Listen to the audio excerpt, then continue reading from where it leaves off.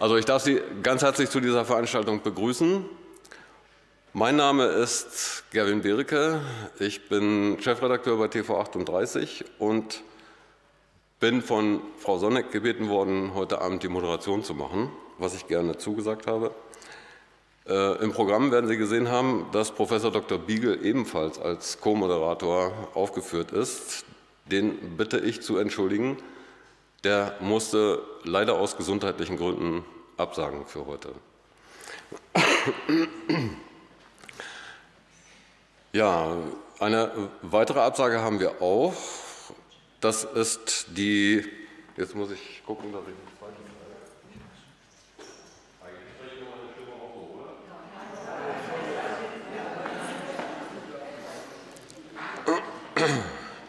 Ja, bloß für die Aufzeichnung ist es natürlich wichtig, dass ich am Mikrofon stehe. Ja, die Frau Prof. Dr. Ingeborg Wender konnte heute Abend nun auch leider nicht zusagen, beziehungsweise ihre Zusage zurückgezogen.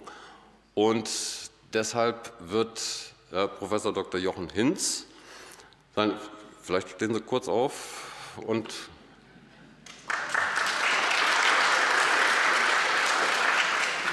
wird Ihren Part übernehmen und uns etwas über Archetypen erzählen.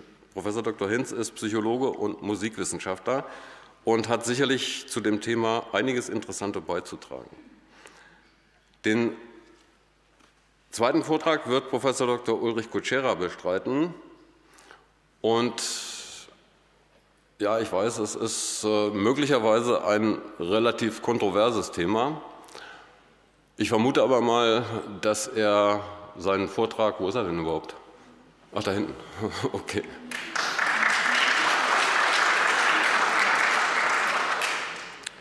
Dass er seinen Vortrag entsprechend auch mit humoristischen äh, Aspekten würzen wird.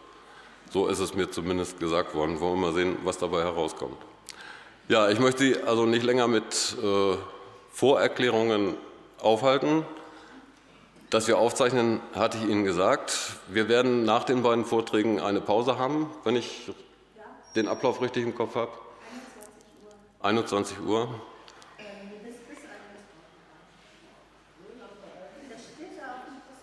Steht auf dem Prospekt? Gut, den lassen wir jetzt mal zur Seite. Ähm, wir werden dann eine kurze Pause machen und dann danach, nach der Pause, wir müssen auch etwas die Technik dann umbauen, die Podiumsdiskussion beginnen, wo Sie gerne Fragen stellen dürfen. Ich sage Ihnen aber gleich vorweg, wenn Sie eine Frage haben, wir haben eine abgesetzte Kamera nachher mit einer Tonangel, dann würde ich Sie bitten, einfach sich zu melden und dann abzuwarten, bis die Kamera und Tonangel in ihrer Nähe sind, sonst kriegen wir den Ton nicht drauf. Das äh, erfordert ein bisschen Disziplin, aber ich denke, das kriegen wir hin. Okay, dann darf ich Sie bitten. Ja, guten Abend erstmal allerseits und schönen Dank für die rege Beteiligung. Ich bin ja nun etwas später dazugekommen und muss sagen, äh, dass einiges da äh, vorher im Spiel war, was äh, eigentlich ich gleich nochmal mit Zitaten nivellieren will, wo ich eigentlich gar kein Verständnis für habe. Und so möchte ich also meinen Vortrag mit zwei Zitaten beginnen. Einer ist von Abraham Maslow, oder auch Abraham Maslow, der äh, Mitbegründer der humanistischen Psychologie, der äh, sich zur Psychologie der Wissenschaft äußert. Und ich möchte gern diesen Abschnitt vorlesen und dann nochmal auf die Wichtigkeit der Psychologie hinweisen durch ein Zitat äh, von C.G. Jung. Abraham Maslow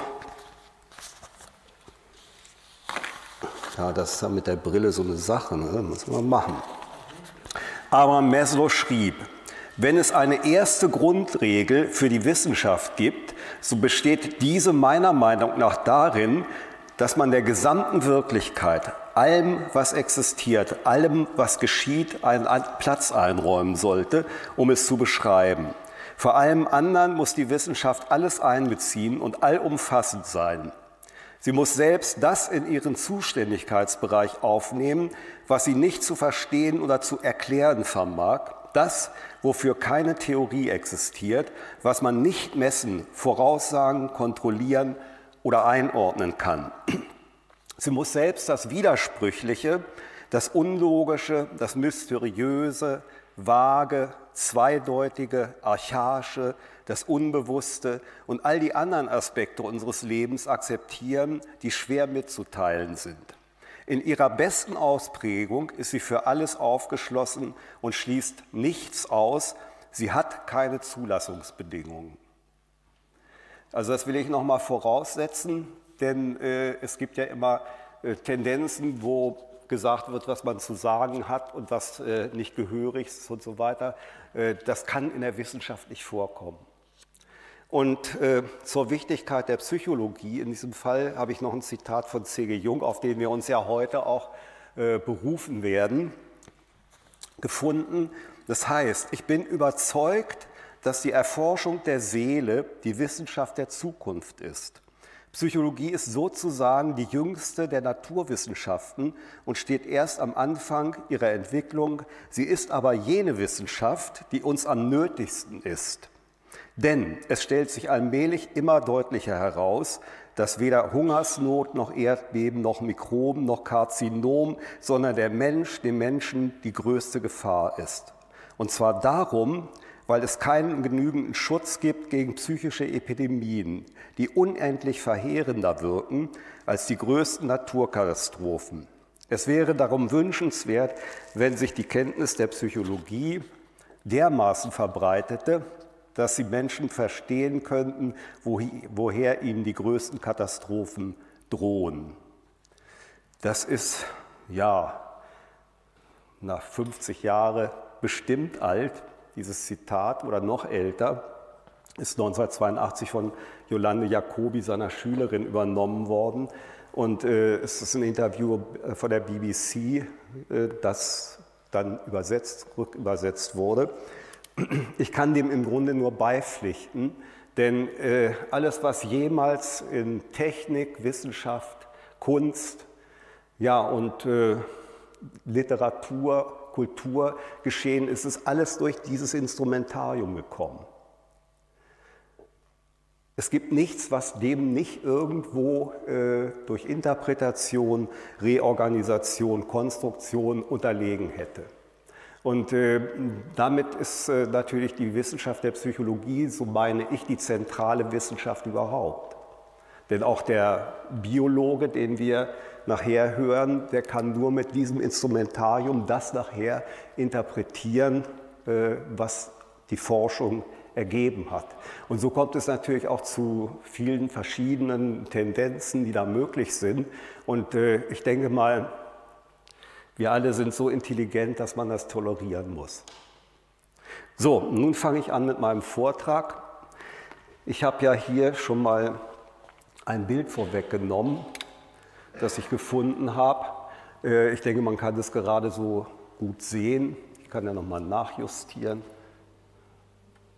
Die Quadratur des Kreises nur mit Lineal und äh, Zirkel äh, ist hier versucht worden, 1687 schon äh, die Vereinigung des weiblichen und männlichen Prinzips in Anima und Animus. Was Anima und Animus sind, werde ich gleich erklären. Ich will voraussagen, dass dieses nie ganz gelingen kann. Und wir werden nachher auch sehen, dass die äh, Zweigeschlechtlichkeit, die wir ja psychisch von Haus aus äh, grundsätzlich annehmen müssen, äh, sich in letzten Bestimmungsstücken nicht lösen lässt. Es bleibt immer ein Rest über, den C.G. Jung mit dem Begriff Nominos, Nominos bezeichnet hat. Das ist das, was wir erleben können, erfahren können, aber nicht erklären können. Äh, es ist meistens mit Emotionen verbunden, das Luminose, äh, Ergreifendes ist es vielleicht sogar auch, äh, ja, dieses nicht wissen, was, je ne sais quoi, was ist mit mir los, ja. Und deshalb auch hier, die Quadratur des Kreises, wissen wir, ist ja so nicht möglich, angewandt auf dieses Doppelgeschlechter, Bild Mann und Frau wird, werden immer Reste überbleiben. Und das ist für mich gerade das, was die ganze Sache natürlich die Auseinandersetzung zwischen Mann und Frau sehr, sehr interessant ist. Nun, hier sind zwei Begriffe gefallen, Anima und Animus. Ich will mal erklären, äh, wie die zustande kommen. Und sie haben in einem System, das ich hier mal zeigen will, äh, auch, das habe ich hier gelb markiert, man kann das sicherlich so kurz ansehen, männlich-weibliches Prinzip. Ja, da sind also äh, grundlegend die sieben Archetypen, die grundlegend angenommen werden in einer äh, Konstruktion hier, wo natürlich das männliche Prinzip vertreten durch Animus und das weibliche vertreten durch Anima äh, so zu sehen sind, dass die Anima das Seelenbild der Frau im Unbewussten des Mannes ist und Animus das Seelenbild des Mannes im Unbewussten, im kollektiven Unbewussten der Frau. Das heißt also, man kann davon ausgehen, dass wir von Haus aus doppelgeschlechtlich sind und beide äh, grundlegenden Gestaltungsmerkmale, die nachher uns auch überhaupt beziehungsfähig machen, in uns bergen und wie wir nachher im Weiteren sehen werden, äh, im Laufe einer Lebensreise, wenn man so will, die äh, Archetypen männlich-weiblich, diese Prinzipien in uns entwickeln. Nun ist es so, ein Archetyp, ich lege es einfach hier nochmal so hin, auch wenn das manchmal unscharf ist, es spielt eigentlich gar keine Rolle, wir wollen das Prinzip ja verstehen. Der Archetyp ist ein Urbild der Seele, so hat C.G. Jung gesagt. Und dieses Urbild der Seele ist ein Kondensat über die Äonen der Menschheitsentwicklung verdichtet von typischen Erlebens- und Reaktionsweisen, die dann äh, in dem, heraus aus dem kollektiven Unbewussten über das persönliche Unbewusste wirksam werden. Sie ordnen Erlebtes momentan Erlebtes und auch Erfahrenes natürlich an und ziehen praktisch diese äh, Erlebensmodalitäten in den Bann, sodass sie letztlich von da aus eine Rückwirkung haben und uns handeln lassen. Oftmals wird das, was archetypisch in uns angelegt ist, äh, ja gar nicht bemerkt und auch nicht verstanden. Aber wir können davon ausgehen, dass wenn wir diese Grundausstattung nicht hätten, wir wahrscheinlich gar nicht in der Lage wären, hier in diesem Fall ja, Beziehungsmöglichkeiten äh, zu sehen, die Auseinandersetzung in der Kommunikation zwischen Mann und Frau oder auch ähnlichen anderen Archetypen in ihrer Vielschichtigkeit zu verstehen. So hat C.G. Jung gesagt, also ein Archetyp ist letztlich ein, eine formale Möglichkeit, wie ein Achsenkreuz in einem Kristall, wo sich dann die Bestandteile wie die Mutterlauge beim Kristall anreichern kann und dann letztlich in Erscheinung treten kann. Das heißt also, der formale Charakter des Archetypus ist grundlegend und man kann es also in so einer Form auch versuchen darzustellen, dass er über die Reihung hinweg, hier hätten wir mal männlich-weiblich, von ja,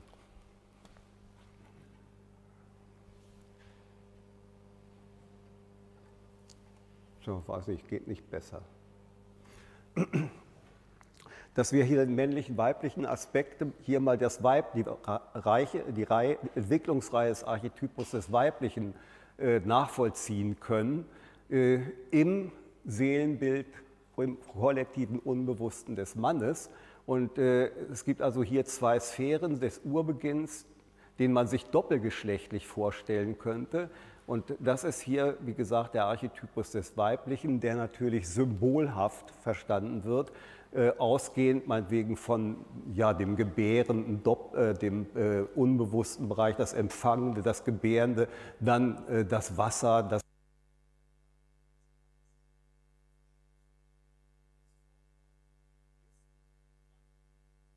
was mit M bezeichnet ist, zum Beispiel die eigene Mutter, die konkrete Frau, die Partnerin, die Tochter, die dann als, äh, sagen wir mal, äh, wahr oder gelebter Archetypus äh, mit mir in Beziehung treten kann. Und diese ganze Reihe schwingt natürlich mit. Das Symbolhafte, was da drin steckt, äh, schwingt mit. Und äh, dieses ist natürlich dann äh, zum Seelenbild beitragend äh, dafür notwendig, mein männliches Prinzip, was ja konkret jetzt durch äh, Genetik und Sozialisation sich äh, und Erziehung hat herausbilden können, ergänzt. Ich hoffe, dass das verstanden werden kann, was etwas kompliziert, weil wir so gar nicht denken. Äh, die, die Gesamtheit, zu der das also beiträgt, wäre das Selbst. Und dieses Selbst ist nach C.G. Jung so gestaltet,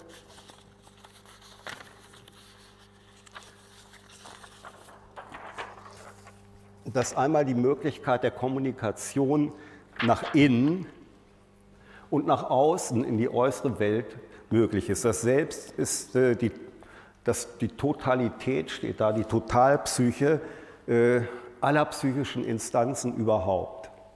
Und äh, Jung nennt es Individuation, der Lebensweg, der letztlich meine Psyche und das Selbst ausdifferenziert, wäre dann die äh, Bewusstwerdung möglichst vieler Bereiche der äußeren bzw. inneren Kommunikation und die Integration, hier sieht man es unten, des Schattens, das ist also der dunkle Bereich, und äh, dann natürlich ganz unten noch von Anima und Animus, dem Seelenbild im Mann und dem Seelenbild in der Frau. Äh, die Seele, das muss ich so sagen, das Seelenbild Animus des Mannes in der Frau und Anima nochmal das Seelenbild der Frau im Unbewussten des Mannes.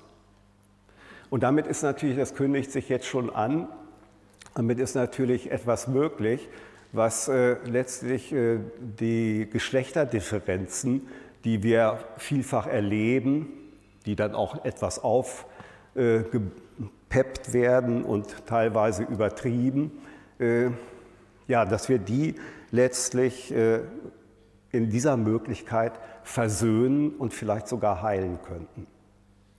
Und da, deshalb habe ich ja nochmal vorgelesen, diesen Satz von C.G. Jung. Es ist ja nichts verheerender als die Unkenntnis dieses Instrumentes, das wir am meisten benutzen und das wir als am wenigsten kennen. Und äh, wir kennen ja meistens nur dieses klitzekleine Ich hier, das ja eine ganz kleine Instanz ist. Dieses Ich, das alles will und wenig kriegt, das deshalb auch immer Frustrations- äh, äh, leben muss. Und dann natürlich äh, die nach, in die äußere Welt als Maske praktisch fungierende Persona, die das Bild nach außen gibt, der mich letztlich von anderen so erleben lässt, wie dieser klitzekleine Bereich Ich mit seinem wenigen Hintergrund, den andere gewahr werden, erkennen können. Und je nachdem, wie diese Persona ausgestaltet ist, kann sie sehr starr sein oder aber auch durchlässig und differenziert. Es ist immer gut, wenn man in der Kommunikation offen ist, vorurteilsfrei, sodass man also auch in dem Bereich, der nachher ins, in die innere Welt reicht, mit diesem ja, äh, Glück, würde ich mal sagen, der Toleranz und der Vorurteilslosigkeit äh, gut auskommen kann.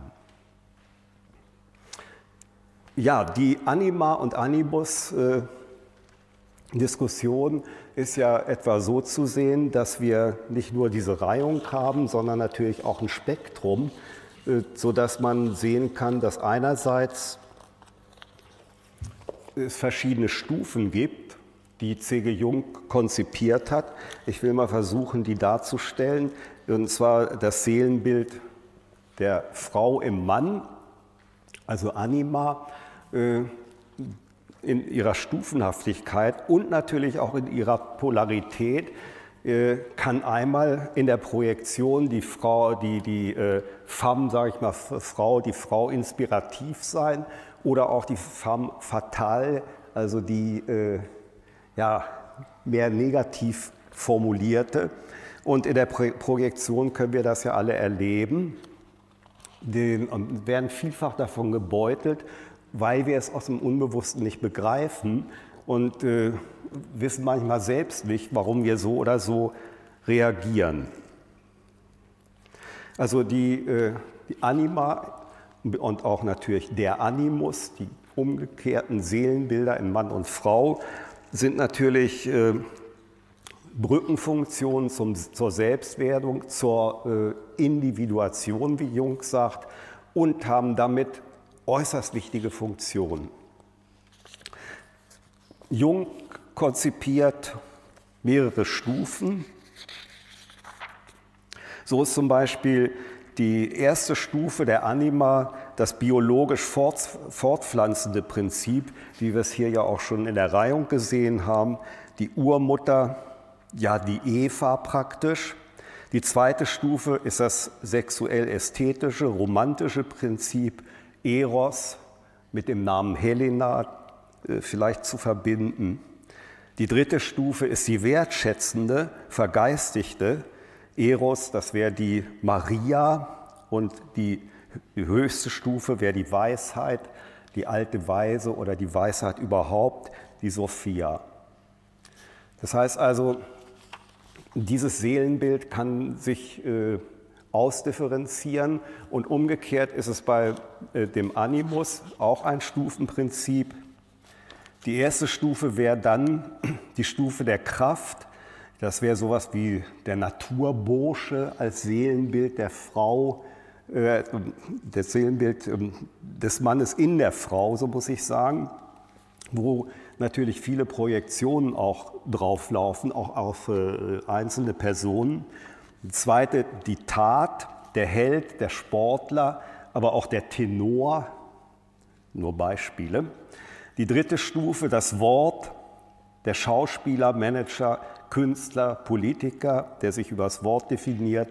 Und die höchste Stufe der Geist, der alte Weise, der Pfarrer, vielleicht sogar der Psychologe.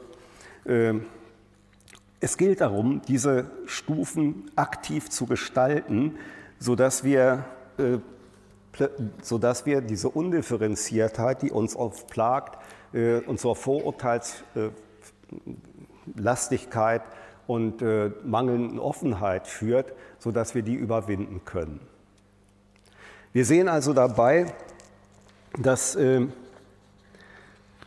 im Individuationsprozess die, nach die innere Welt äh, gegengeschlechtlich erkundet werden muss. Und äh, C.G. Jung hat gesagt, diesen, den Schatten, dass wir als das, was äh, unreflektiert und vielleicht auch im negativen Sinne, im Unbewussten in uns enthalten ist, äh, diesen Schatten zu integrieren, das wäre das Gesellenstück, aber Anima Animus zu integrieren, das wäre das Meisterstück. Und wie gesagt, dieses, wir haben es ja vorhin an dem Bild, im ersten Bild gesehen, wird bis zur restlichen Aufklärung natürlich nie gelingen. Und äh, damit haben wir natürlich immer dieses nominose Gefühl, dieses Nichtwissen, dieses Nicht erklären können aber wohl tiefgreifend erleben können. Ich denke mal, äh, da ist auch sowas angesiedelt, wie was wir auch nicht erklären können, Liebe auf den ersten Blick. Ich denke, wenn wir so eine Grundmuster, ich sage das jetzt mal als Mann, als äh, der Frau nicht in uns trügen, würden wir dieses Erleben gar nicht haben können. Und es ist ja manchmal ganz äh, äh ja, überraschend, dass man, das ist ja wie ein äh, Schlag, der einen trifft, ist gar nicht mein Typ und trotzdem funkt das. Ja? Das, was man gar nicht erklären kann. Und das ist dieses Numinose, was wir nachher eben unerklärliche Liebe nennen, die ja über alle Maßen äh, sich entwickeln kann und äh, in ihrer höchsten Form natürlich äh, ja, leb- und liebbar wird, sodass wir damit natürlich auch äh, wirklich versöhnende Möglichkeiten der Gestaltung unserer Persönlichkeit und der Partnerschaft finden können.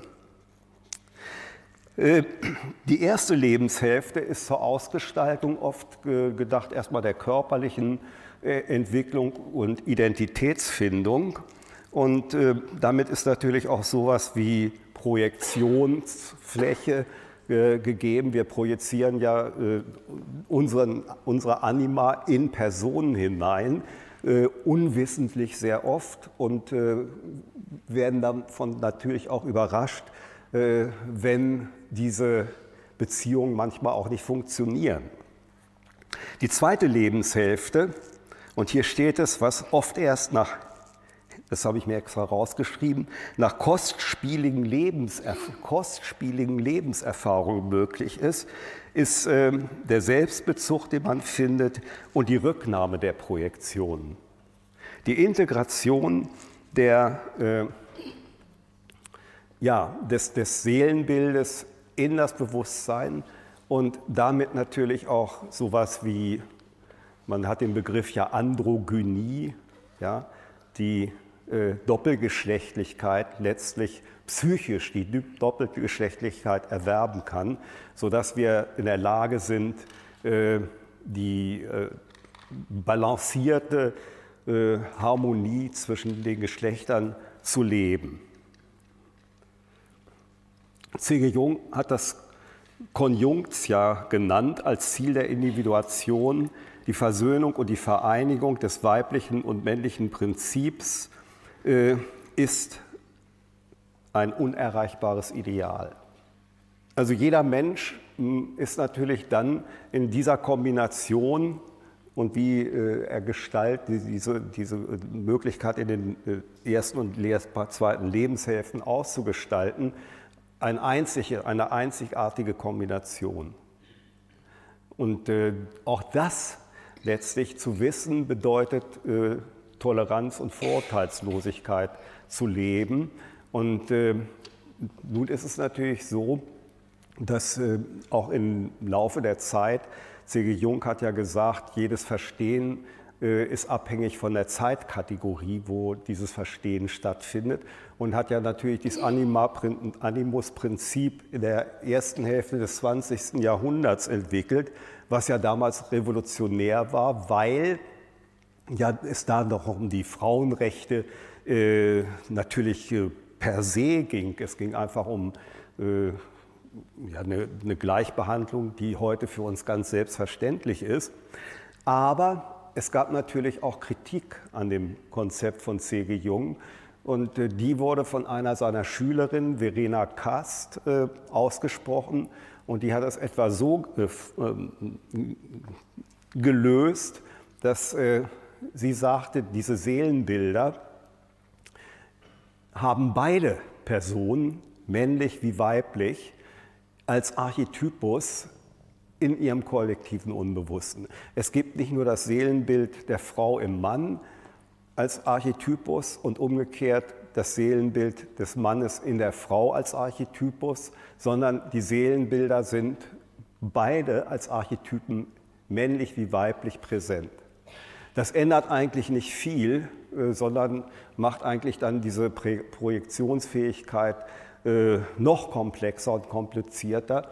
Und äh, heute sind die Tendenzen, dass man äh, doch wieder zurückkehrt und sagt, das klassische Prinzip Anima Animus sei etwas, was wohl ja, tragbar ist und letztlich auch lebbar ist. Äh, ich will an dieser Stelle und das vielleicht äh, zum, ja, zum Schluss mit anführen, C.G. Jung hat es ja sehr schwer gehabt, diese Konzepte, von denen er gesagt hat, sie sind vererbt, das irgendwie damals in die äh, Genetik, die zu dieser Zeit bekannt war, mit unterzubringen. Denn äh, es war, galt ja immer das Dogma, dass äh, Lebenserfahrungen, die wir im Laufe einer Entwicklung machen, nicht ins Genom gehen. Und da ist man heute ein Stück weiter. Es gab äh, ja, ich will mal einen Einschritt machen. Äh, eigentlich, das wird und mein Kollege Kutschera nachher vielleicht auch deutlich rausbringen können. Diese ganzen Genomaufklärungen, und zwar insbesondere deshalb notwendig, weil nur 10 Prozent unserer DNA kodierende DNA ist und 90 Prozent wurden einfach als Datenmüll deklariert, als Junk-DNA, Nonsens-DNA. Äh, ist ja natürlich die Evolution, das kam mir schon immer suspekt vor, nicht einfach so, dass die 90 Prozent äh, Datenmüll zulässt, sondern man hat festgestellt, dass gerade diese 90 Prozent sehr wichtig sind, äh, um Lebenserfahrungen wirksam machen können, auch im Bereich der DNA. Das sind besonders Forschungen aus Russland. Der Name dafür ist Piotr Garjajew, der äh, Mitglied der Akademie der Wissenschaft in Russland ist, in Moskau, der äh, auch durch Versuche belegt hat, dass die DNA viel mehr kann und natürlich auch sowas wie Informationen aufnehmen kann, speichern kann und auch wieder abgeben kann. Man könnte förmlich sagen, wenn man auf die DNA, die ja eingewickelt, diese Doppelhelix einmal fast wie eine Stabantenne aussehen lässt, damit magnetisch äh, Empfänger und äh, Sender sein kann und äh, dann natürlich die Längsstabantenne als Elektroantenne, äh, elektromagnetisch, also Licht äh, aufnehmen wird. Und äh, es ist ja auch so gewesen, dass schon in den 70er Jahren der Biophysiker Fritz Albert Popp in Marburg Licht in jeder einzelnen Zelle nachgewiesen hat. Das war damals so, dass man ja natürlich das als Ungeheuerlichkeit äh, empfunden hat. Und Fritz Albert Popp, der damals äh, junger Wissenschaftler war, sollte von der Uni Marburg gemobbt werden. Also man hat ihn praktisch äh, äh herausgemobbt, bis nachher bekannt wurde, dass viele Versuche dieses Licht in den Zellen nachgewiesen haben. Nun muss man sich vorstellen, wenn äh, Licht Informationsträger und äh, Sender und Empfänger ist, dann äh, muss es irgendwo mit Schwingung und Resonanz zu tun haben. Und man geht also davon aus, dass äh, die Umhüllung der DNA letztlich äh, Solitoncharakter hat. Das sind sehr stabile Formen von Wellen, die dann äh, auch resonanzfähig äh, senden und empfangen können. Das heißt also, da wäre es möglich, jetzt über diese Schiene Lebenserfahrungen mit hineinzubekommen, sodass die natürlich dann auch Erbcharakter hätten und äh, eben nicht, wie wir gedacht haben, nur äh, Nonsens oder Datenmüll werden, sondern, ja, ich mal Wort von Gerald Hüther, sowas wie ein kreatives Schatzlager, wo wir täglich mit operieren und äh, uns vielfach gar nicht erklären können, wieso wir zum Beispiel Einfälle haben oder dass wir sagen, mir kommt da ein Gedanke und man fragt sich ja immer, wo war der vorher? Ne? Oder das Problem taucht auf. Da muss man sagen, ja, wo war denn das? Woher taucht das auf? Wo war das vorher?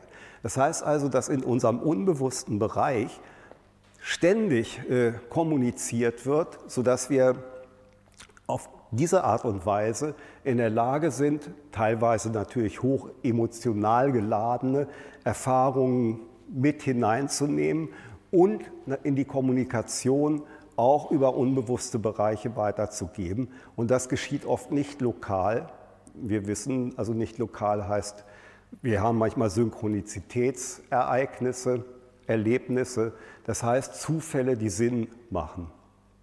Und diese Möglichkeiten kann man heute mit diesen Modellen äh, zumindest in einen Erklärungsversuch kriegen, sodass also dieser alte ja, Darwinismus aufgeweicht werden könnte und damit eine weitere Möglichkeit besteht, auch dieses Verhältnis der Geschlechterdifferenzen zu versöhnen.